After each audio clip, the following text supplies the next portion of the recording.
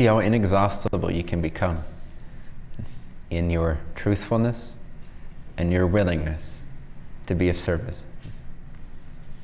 Doesn't mean you never say no. Doesn't mean you never take a physical break. Sometimes that's the most truthful thing to do. But it means that you always come from a willingness to consider what's in the highest interest of all, and not just come from the reaction of, I'm a little tired. Become inexhaustible in body, mind, and spirit in your service to others when those occasions are called for. And the purer you'll become, the more you'll be called on. But also, the more endurance you'll have, the more practice you'll have, the more conviction you have, and the fact that you don't need anything, that you're always perfect, that you're always okay, you're always immortal, you can always have bliss. And the more you know this, the more your life can become in service of others. And it seems like a sacrifice to the mind, but it's such a gift because it anchors in the fact that you're not separate. And it anchors in the God and union of love, and the bliss will flow through so much more profoundly. It's where the love comes in. It's where bliss becomes bliss slash love. Indescribable love.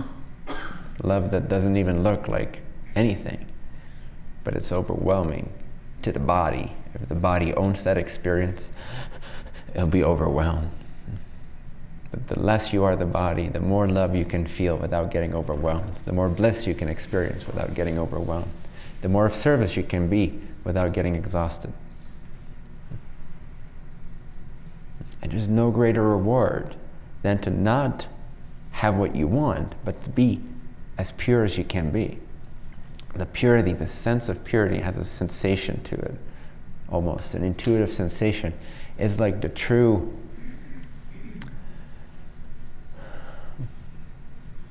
you know, Hall of Fame or like the belt with your accolades on it, your achievements.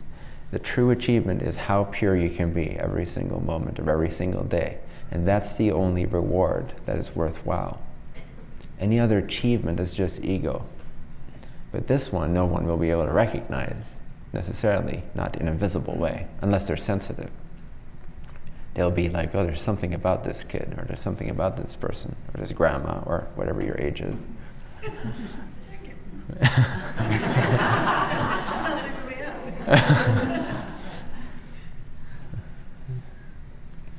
when you know you did the right thing against all odds, that you found the right thing to do against all odds, against all understanding from others,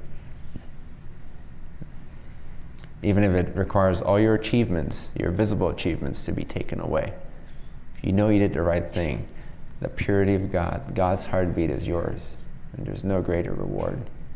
That is the kingdom of heaven. And no one can touch that reward. No one can touch that achievement, that attainment. It is invincible. It's not dependent. It shines of its own accord, self luminous, purity, bliss, servitude, love, inexhaustibility. Awareness is inexhaustible, and therefore so are you. Every time you think you're tired, you can't handle this anymore, you're in lack. You're misidentified. You can always handle more. You can always handle more. You can always handle more. It Might have to be channeled differently. You might have to see it differently. But there's always an inexhaustibility at your disposal. When you're the most tired, when you're at the very end of your threshold, the very end of your physical mind, body, spirit experience of self. And there's another calling for service. And somehow it doesn't seem like you can get away from this one. Dig deeper, and you'll be reborn as if you just slept 24 hours straight. Right there, when you thought you had no energy left.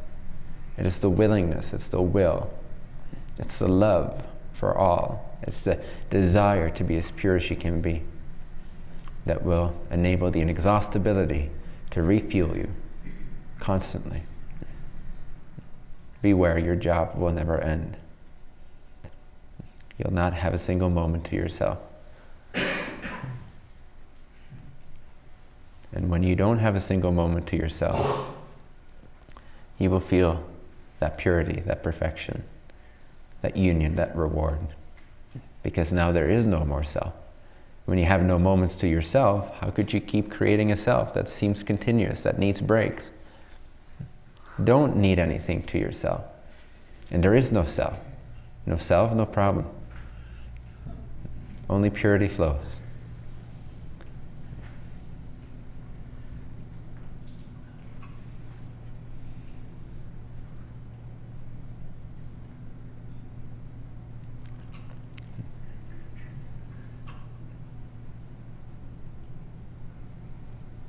Very few will understand this. Cannot be explained. It goes against reason, it goes against the selfish modalities that we're used to everyone doing and being.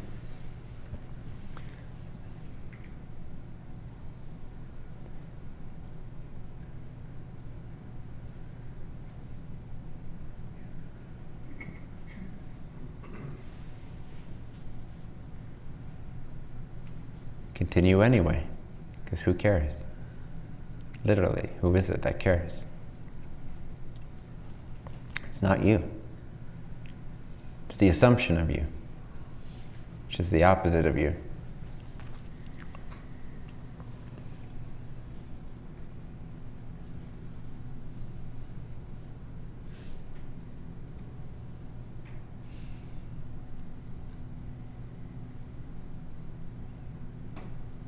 And the purer you get, the less of a self you are the more your actions and your speech and your thinking is not done by you.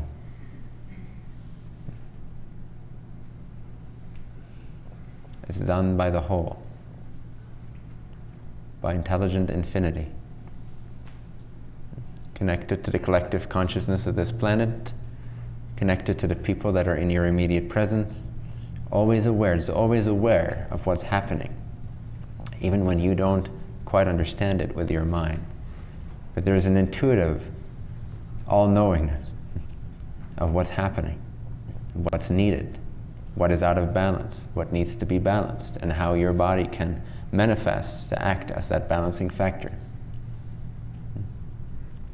And this is the great balancing factor. And this is the great, for me, this has been one of the most challenging things that has been able to etch away most of my ego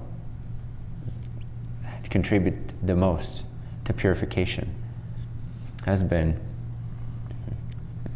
to have that knowingness, to have the body be used in that way, and for it to be met with misunderstanding, being understood to be opposite of the actual intention of service, and to do it anyway, to be that anyway. That is the greatest surrender. That's the greatest sacrifice that the personality can make. And through that process, repeatedly, repeatedly, repeatedly, coming to a place where one does not care what another thinks of oneself, the expression of it becomes purer, cleaner, less distorted. And the achievement, the attainment, the inner purity of it becomes even more amazing and love filled and indescribable. The love for yourself will become so total your completion is so complete that nothing else competes. No acknowledgement, no recognition on a personal level would ever compete with this. But you can only discover this if you go through the eye of the needle. And it hurts at the very edge. It's a very narrow eye. Not much can go through. Only the purest of the pure can go through that.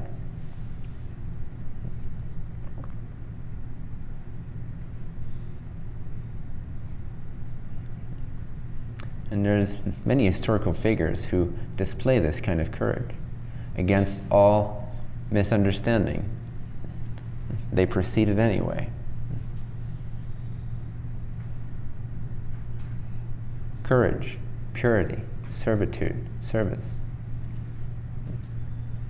Joan of Arc, for example.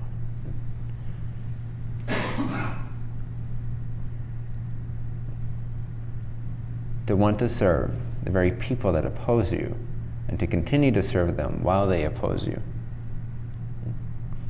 What could be a better trap for the ego to have to end itself?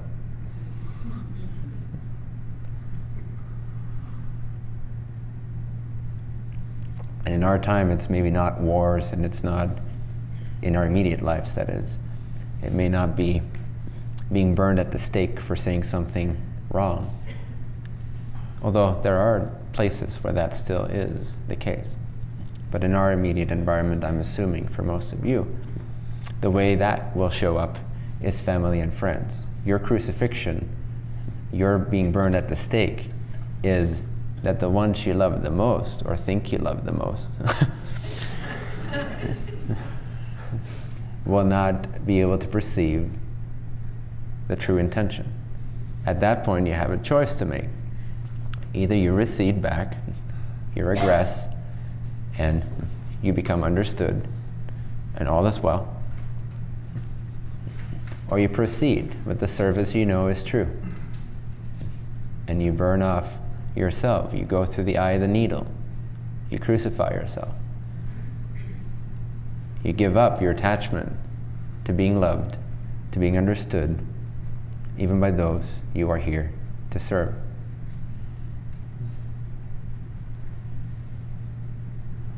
Then, when you pass through that eye of the needle, and you might have to do so several times,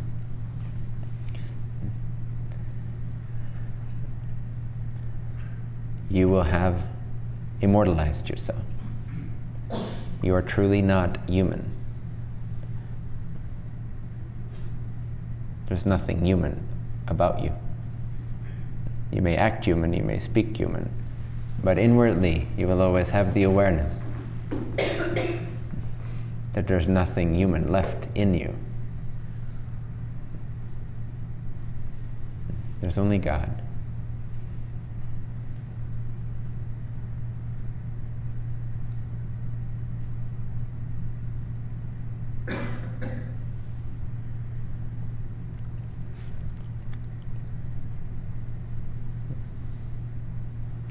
So push yourself, exhaust yourself for the right reasons. Never stop. Never stop giving. Never stop sacrificing. Never stop surrendering. Never stop purifying. Never stop being generous in as many ways as you can.